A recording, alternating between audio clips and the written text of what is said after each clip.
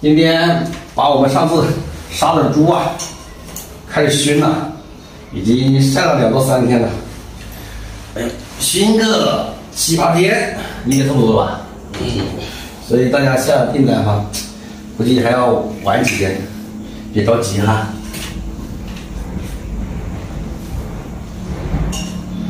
挖好，这猪头，这这个猪头别人预定好了。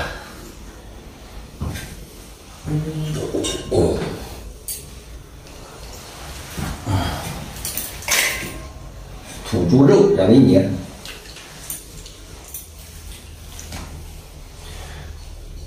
上次这边熏的那个牛肉啊，这是我们的熏肉房。嗯。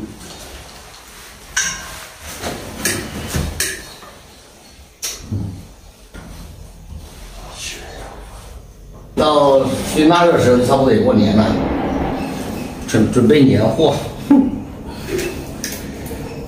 准备年货，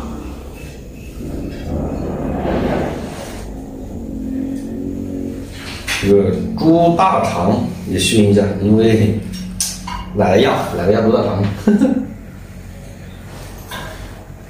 猪肚，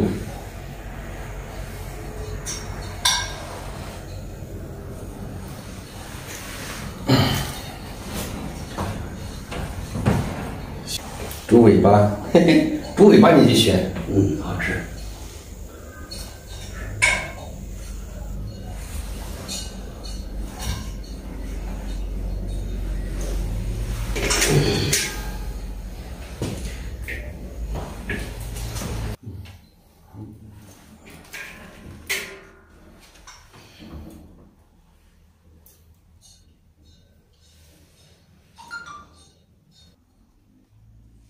点火开始熏呐，过年喽！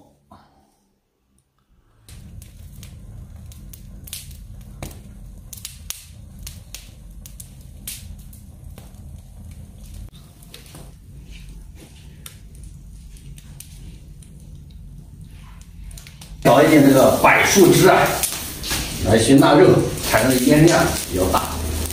在我们这边很少人用这个熏。因为我们这边柏树比较少啊，松树、杉树比较多，这个柏树很少。我找了大半砖，才找到这个柏树枝，给它打湿，不然一下烧没了。打湿一点，烟更大。哎呀，果然不一样，这个柏树枝的烟好大。哎呀，这一会的功夫，看都看不清了，主要是烟。啊！